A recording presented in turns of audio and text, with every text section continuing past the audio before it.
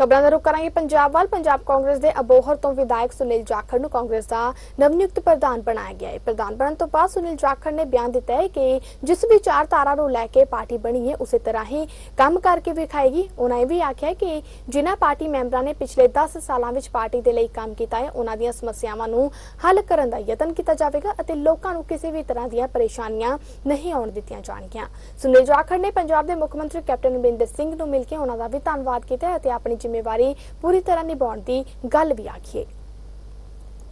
ये इतना बड़ा विश्वास और जिम्मेवारी दी है तो मेरा प्रयास रहेगा कि उनके विश्वास की कसौटी के ऊपर पूरा उतरे और मैं उनका तय दिल से आभार भी व्यक्त करता हूँ और हमारा प्रयास एक पार्टी यूनिट के तौर पे यही रहेगा कि कांग्रेस के कार्यकर्ता ने इलेक्शन के दौरान